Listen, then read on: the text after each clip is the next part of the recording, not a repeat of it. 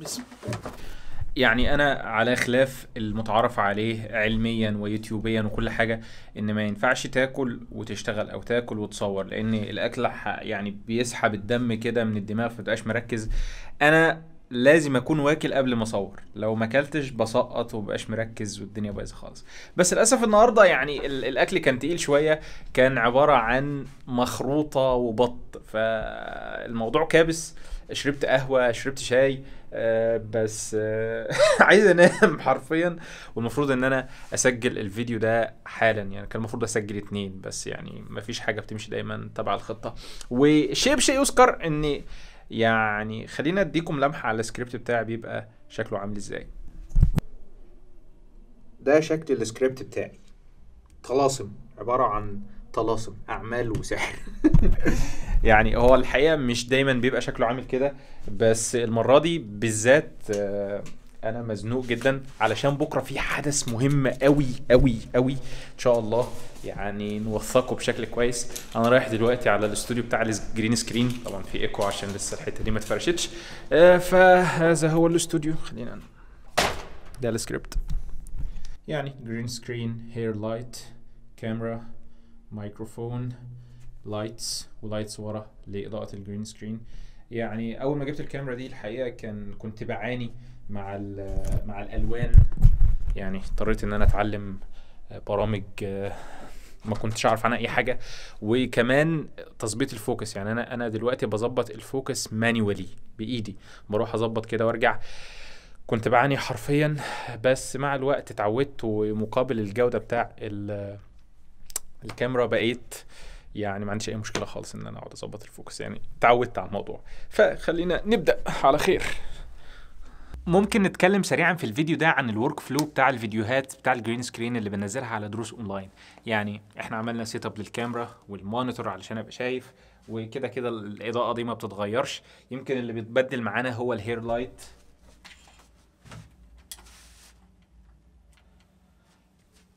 وال hair light فايدته إن هو بيعزلك شوية عن ال green screen فلما بتيجي آه، تعمل آه، عزل الموضوع بيبقى لطيف جدا وبيدي إيحاء كده إن this is professional work أو هذا عمل احترافي. لسه بحاول أقلع عن استخدام الإنجليزي بس يعني I think أعتقد لو قلنا الترجمة بالعربي والإنجليزي ممكن الناس تعديها لنا يعني. وفي ناس كتيرة من الفيديو اللي فات آه، طلبوا مننا جدا إن إحنا نستمر في إننا نقول المصطلح بالإنجليزي ومعناه بالعربي علشان نزود الحصيلة اللغوية عند ناس كتير.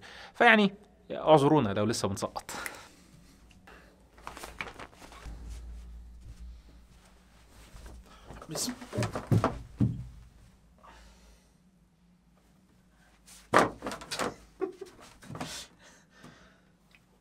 أول مرة تحصل لي يعني. أول مرة أسجل فلوج وأنا بسجل اقع سبحان الله يعني. شيء غريب. آه يابا. هو دلوقتي أنا حاسس إن في حد قاعد معايا في الأوضة وأنا غالبا ما بسجلش وحد قاعد معايا في الأوضة فهحاول أتغافل إن في كاميرا تانية بتسجل وأركز في الكاميرا دي.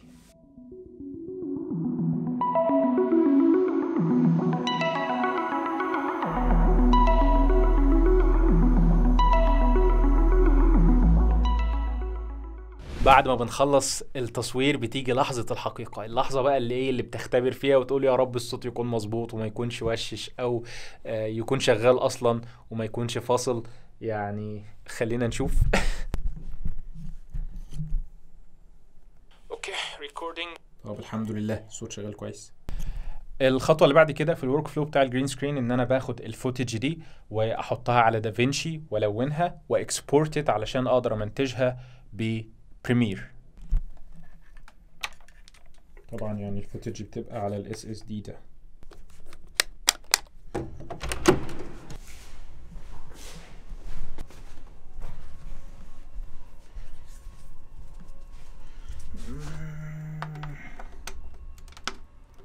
آه، دافينشي.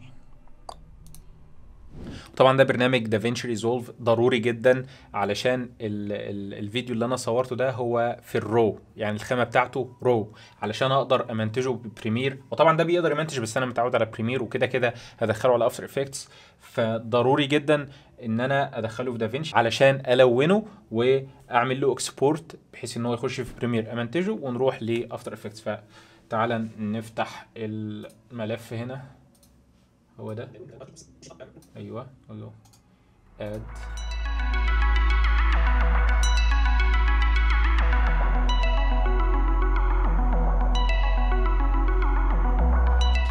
طيب وأنا دلوقتي بعمل export للملف الفيديو من دافينشي لصورة MP 4 علشان أقدر أمنتجها وأنا بعمل له export مرتين MP 4 low quality علشان أقدر يعني أشتغل عليها في المونتاج وال After Effects وبعد ما بخلص خالص بستبدلها بال بال بالنسخة ال high quality اللي بيبقى حجمها كبير جدا وبالمناسبة حجم الفيديو ال RAW اللي طالع من الكاميرا عبارة عن 86 جيجا وده حجم معقول جدا.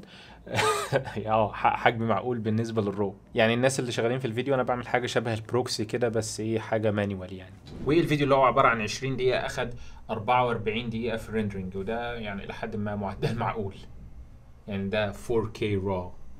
الخطوة اللي بعد كده هي إن أنا بمنتج الفيديو ده على برنامج Premiere يعني طبعا بما إني دلوقتي بسجل الصوت directly للكاميرا فهضطر إن أنا الصوت ده آه، أخده على برنامج Audition وأظبط ال levels بتاعته وأعمل له normalization وشوية حبشتكنات كده. نوصل السماعات علشان يعني يبقى في جودة صوت كويسة أو نقدر فعلا نمنتج الصوت بشكل كويس أو نظبط الصوت.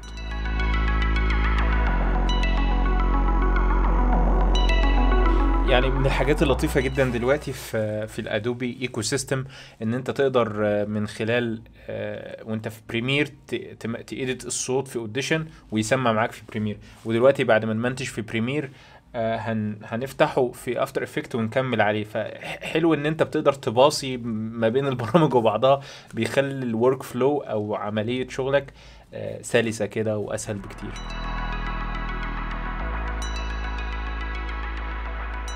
ودلوقتي بعد ما خلصنا ال editing ببرنامج Adobe Premiere جيت الخطوة اللي بعد كده وهي After Effects okay في برنامج After Effects بنعمل كذا خطوة الصراحة. أول خطوة هو إن أنا بعمل mask حوالين الحتت اللي أنا مش هستخدمها من ال green screen ف فين ال...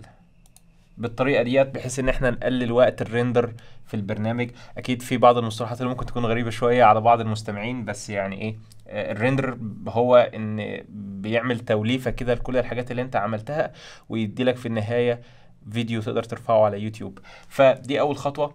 تاني خطوة بعملها هي إن أنا بشيل ال green screen وبصراحة برنامج After Effects من أفضل البرامج في عمايل الحتة ديت. طبعا بعد ما بشيل ال green screen المفروض إن ال background بتبقى سودا كده فبضيف عليها background برضو بتبقى في البداية بيضة. بضيف عليها gradient كده بحيث إنها يديها تدريج.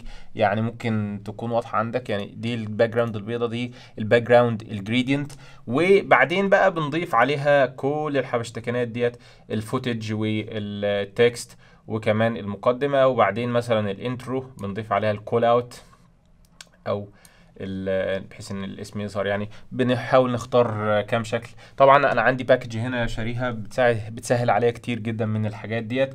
آه، ولكن آه، يعني الشوية اللي هم دول يعني شوية الصغيرين دول هم عبارة عن 30 ثانية مثلا. اللي هم ال 30 ثانية دول. فيهم كل الشغل ده. وده بصراحة يعني حاجات بسيطة أو سريعة. يعني مش عارف كام طبقة. بس الشغل على After Effects يعني الحقيقة بيبقى مرهق ومتعب. بس أنا بحب أشتغل عليه بيديني flexibility كبيرة جدا. وأنا اتعلمت أصلا After Effects قبل ما أتعلم Premiere فده يمكن اللي مخليني بحب أستخدم After Effects لأن بيديلي آه، آه، يعني مرونة في إن أنا عايز أوصل أي effect أو عايز أعمل أي حاجة. يعني أنا أنا بحب أفكر إن يعني ده فن انك تستخدم After Effect في الحاجات ديت بيبقى فيه نوع من الفن كده. فانا بحب المنتج النهائي اللي طالع من After Effect فخلينا نشتغل وربنا يعيننا على الفيديو ده. If I stand right here.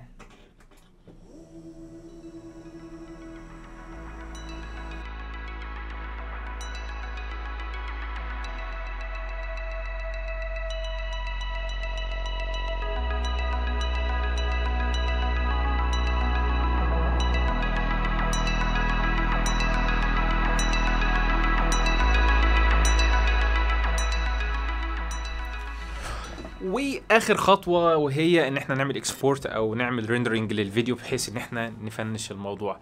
حقيقي دي أكتر خطوة بتاخد وقت في الم... في ال... في, ال... في الفيديو كله آه، لأن برنامج آه، After Effects يعني بيبقى فيه طبقات كتير بتحتاج إنك تضيف text وتضيف فيديوز وتضيف sound effects وتضيف shape layers وحاجات كتيرة جدا وكل طبقة من الطبقات دي بيبقى لها بداية ونهاية وبيبقى فيها key frames كمان بحيث إنك لو عايز تحركها أو تعمل لها motion graphics فالموضوع يعني آه، بياخد وقت وكمان البرنامج بيبقى تقيل جدا على الكمبيوتر فبيستهلك كل الموارد وفي نفس الوقت ما بيبقاش سريع آه، بالقدر الكافي ما بيبقاش فيه real time أو إن أنت تشغله كده فيمشي. لا بتحتاج إنك تعمل له RAM preview الأول وبعدين تشغله فيشتغل. ف آه، ال- الدقيقة اللي أنت بتشوفها دقيقه دي ممكن تكون خدت أكتر من ثلاث ساعات في في في الموضوع ده.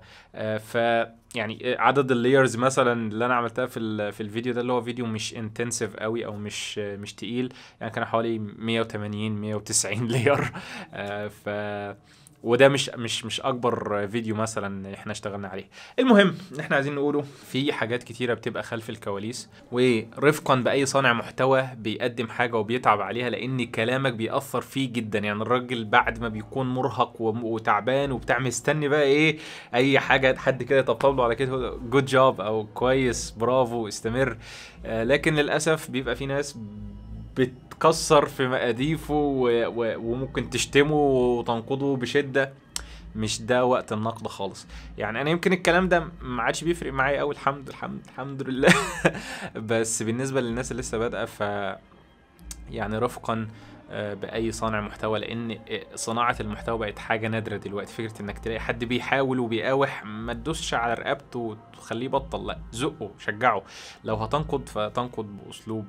آه كويس.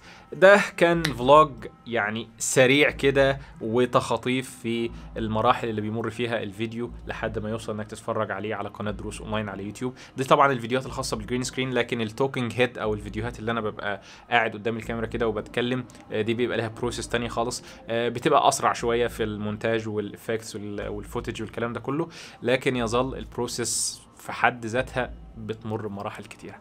فنتمنى إن يكون الفيديو ده عجبكم أو إداكم لمحة كده عن الموضوع وبنعتذر لو أنت سامع صوت الأغاني والدي جي علشان في فرح جنبنا هنا. سلام.